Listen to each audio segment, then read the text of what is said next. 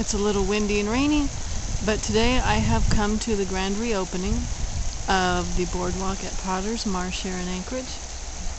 And I'll show you a new view, which we've never been able to have before. The boardwalk is very nice.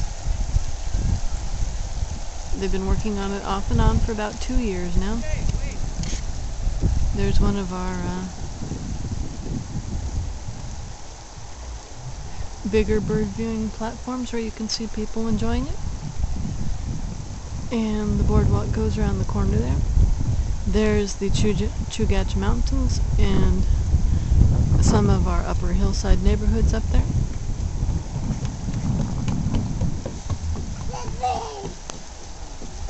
But now I'm going to try and get myself someplace a little drier.